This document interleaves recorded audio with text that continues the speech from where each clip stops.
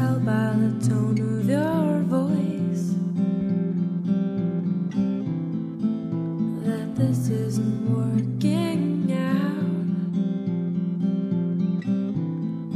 And I can tell by the